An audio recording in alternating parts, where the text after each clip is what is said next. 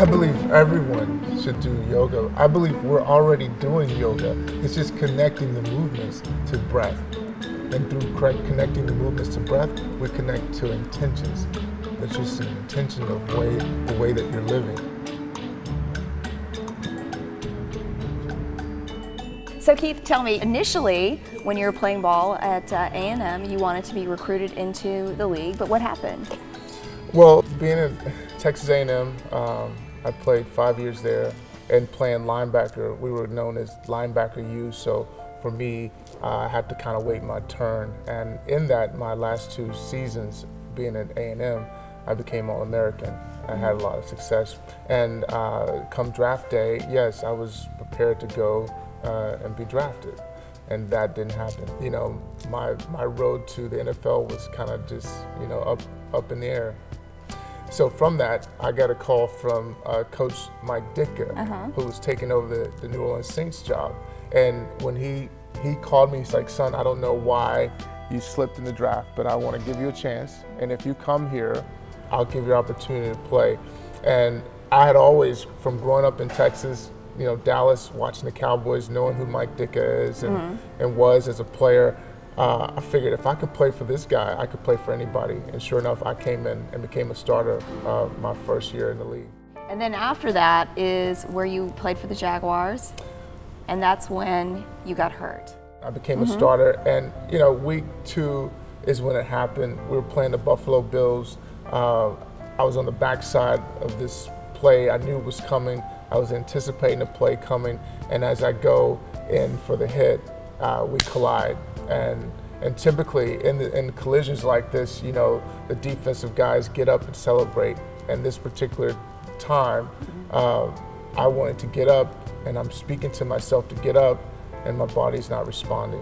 What was going through your mind when you're trying to get up and your body is not responding? What were you thinking at that moment? It's like an out of body experience when you know your body's, you know, something's not right with your body, mm -hmm. but you can't feel a thing but your mind knows something is wrong. yeah. Yeah, it's a really far out experience. So then you go, you get to the hospital, and what happens at the hospital? Uh, what, what, does your doctor tell you?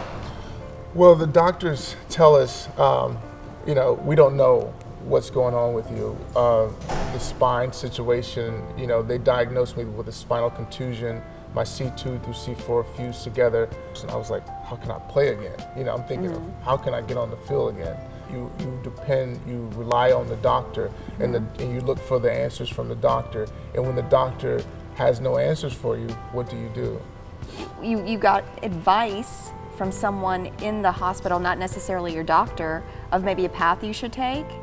Well, what I did, I went to my second opinion in South Florida, okay. and uh, who's someone when I would have injuries, I would go in, in reference to, and in in the care of him, someone was there, uh, the practitioner, nurse. I don't know really what she was, mm -hmm. but she came to me. She talked to me about conscious breathing, and she's talked. She talked to me from the academics perspective. It was like the, the, the circulation of, of, blood flow, uh, oxygen in the blood flow allows the healing. It's the natural inheritance that we've been granted to be able to tap in and access healing for ourselves by, by, mm -hmm. by tweaking these little things. And for me, and where I was, I was open to be healed. Mm -hmm. I, so I didn't have time to criticize it. I didn't have time to doubt it. It was like this was my playbook and this was given to me. For some reason, I took this and I was compelled to do it by pulling from this meditation, though, it really helped me sustain in my mind.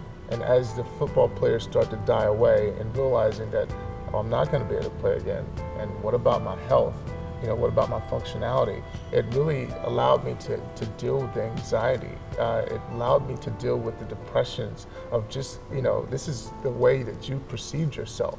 And then that's gone away. Yeah. So it was like a whole discovery, self-discovery of, of of my life. You know, some people could call that a, a like a midlife crisis.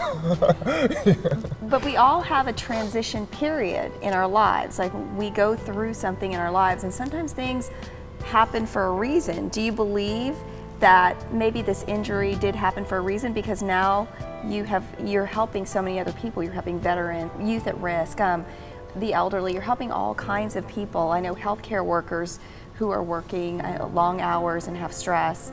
How, how did how did this almost make a career change for you? Really?